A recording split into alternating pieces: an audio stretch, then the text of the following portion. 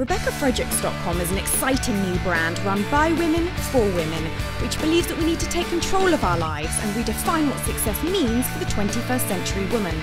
The brand empowers women like you with self confidence to go out there and create the success and therefore the lives that they want.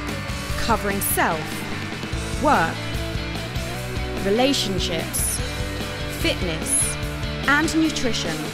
We provide all the tools, tips, strategies, and support you need to create a life you love. Hi, welcome to RebeccaFredericks.com. I'm Rebecca Fredericks and welcome to your Tuesday tip. Thank you so much for joining me today in the kitchen. Now, today we're going to be looking at how to make green pesto. Now, I absolutely love pesto. It's really good for you, full of all the basil and the garlic and the nuts and the fresh virgin olive oil, but it's also an incredibly versatile paste. It's great to use on pasta, it's fantastic to use in sandwiches. You can even use it with fish dishes, and I do a really, really good roasted cod dish with pesto, which I'll do another episode on uh, soon. So let's look at what you're going to need to make pesto today. So we're going to need about 30 grams of fresh basil, we're going to need a third of a cup of extra virgin olive oil. We're going to need about a third of a cup of toasted pine nuts. Now, a reason that lots of people don't make their own pesto is because in the UK in particular, pine nuts are so expensive. But I don't want this to stop you from making pesto because actually you can use walnuts or almonds instead. And today I'm actually going to be using some almonds as well as the pine nuts. And that's a really, really good option for you. Um, I'm also just gonna put a little bit of um, chili flakes in there and a little, you can use nutmeg. That's also really nice with it.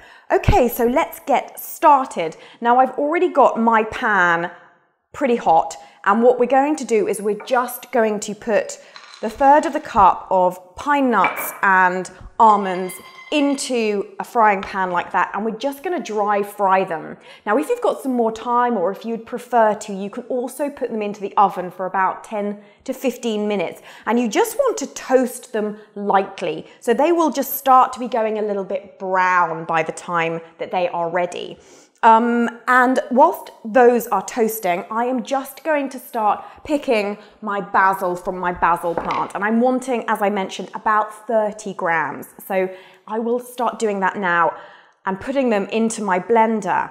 Now, I don't actually possess a food processor, so blenders work just fine. But if you have a food processor, do use that. So just going to pop all of this in and it really couldn't be simpler. You throw it all into the blender, you blend it and you're done. Very quick, very simple, very, very tasty. So whilst those nuts are toasting, just keep checking on them. Just keep moving them around the pan like that.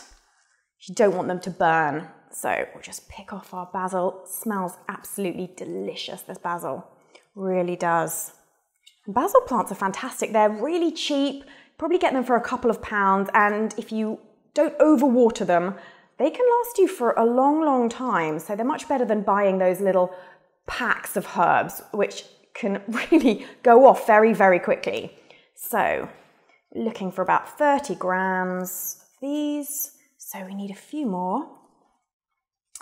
And then because we're using a blender, what can happen is that the, uh, the rotation at the bottom gets very, very clunked up. So we're going to put the oil in next just to keep those free. So we're almost ready now.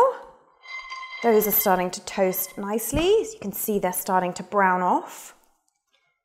So let's just finish this up now. Like that. Perfect, that's about right.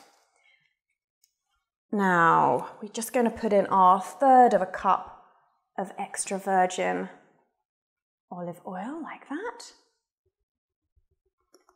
That in. Perfect. And then we've got our two cloves of garlic, which I prepared earlier. I just cut the ends off and took the paper off. So we're just going to pop those in there as well. And then hopefully our nuts will be about ready. And toasting them just gives them a really nice flavour. You don't have to do it if you don't want to, but I recommend doing it because I think it just gives it that extra certain something. So let's just check on them now. Move that out of the way. we go. Okay, just a few more minutes. I'm just going to turn that up a little bit more.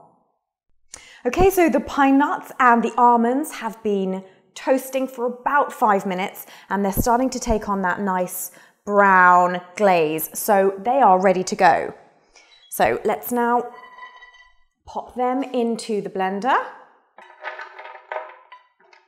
Like that. Perfect. And pop the top on. Make sure it's on firmly. Go, and we'll turn it on.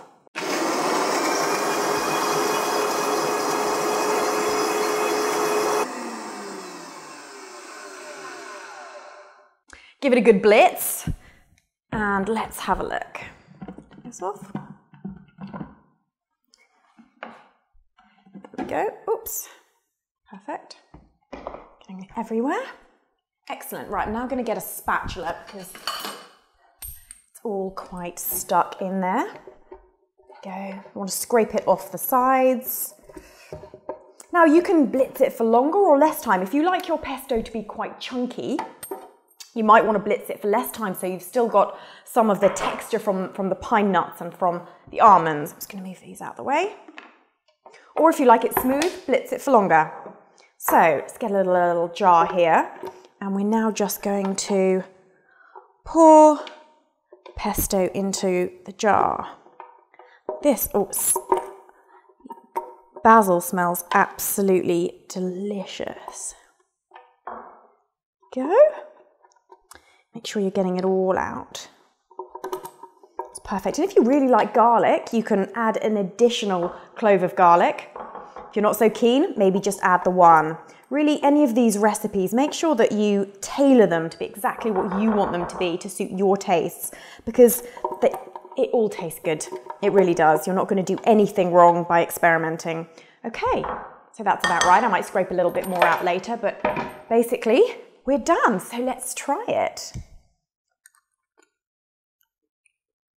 It's really nice. I'm going to add a little bit of salt and pepper like that. I'm also going to add just a pinch of chili flakes just to give it an extra bite. And I like that particularly when I'm using the pesto with pasta. So I'm just going to do that now. But as I mentioned before, nutmeg's also a really nice addition. Okay, just a pinch like that, not too much. Give it another stir. Delicious. Mm, that's really, really tasty. Okay, so that's all I've got for you today. I hope you've liked it. Do let me know if you make this recipe and if you add anything else or you change it in any way. I'm always really interested to hear from you. So, if you've liked it, then please like it below and like it on Facebook and share this recipe with any of your friends that you think may be interested. Do come over to RebeccaFredericks.com and download the PDF for today's recipe.